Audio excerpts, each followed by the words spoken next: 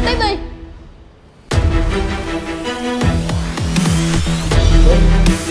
Bà tìm yêu sâu bà đúng không? Chính cậu Cậu là người lấy đồ của tôi chứ không ai hết